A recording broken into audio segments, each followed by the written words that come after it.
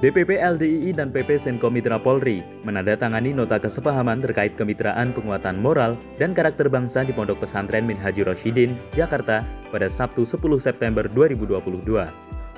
Nota kesepahaman itu untuk membangun mental spiritual SDM Senko Mitra Polri. Dalam kerjasama itu, Senko Mitra Polri bertugas menjaga Kamtipmas di lingkungan LDII Menurut Sekretaris Umum DPP LDII Dodi Taufik Wijaya, kegiatan itu memperpanjang nota kesepahaman yang sebelumnya dilaksanakan pada tahun 2012 sekaligus mempertegas paradigma LDII bersanding bukan bersaing. Sementara itu, Sekretaris Jenderal PP Senkom Mitra Polri, Nedi Wibara mengatakan, pihaknya siap bersinergi dengan LDII baik dalam Kamtipmas dan kebencanaan. Berikut pemaparannya. Intinya adalah kerjasama uh, pembinaan sumber daya manusia uh, eh, LDI dalam hal pelatihan-pelatihan sesuai dengan tupoksinya Senkom masalah komunikasi, ketertiban, keamanan dan lain-lain juga penanggulangan bencana.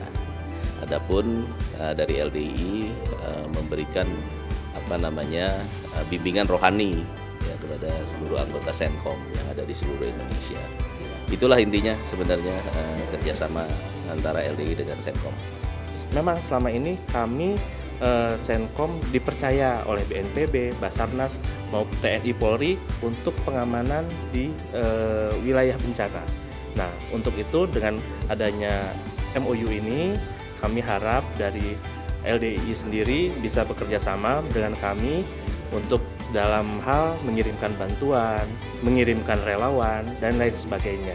Insya Allah nanti sama uh, Senkom mulai dari PP Senkom uh, sampai dengan uh, di wilayah provinsi, kota, kabupaten akan membantu semaksimal mungkin dalam uh, hal kebencanaan.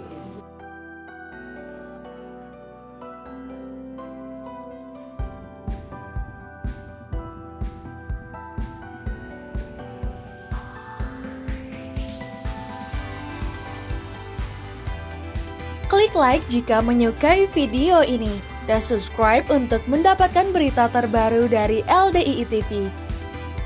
Alhamdulillahi jazakumullahu khairah telah menonton.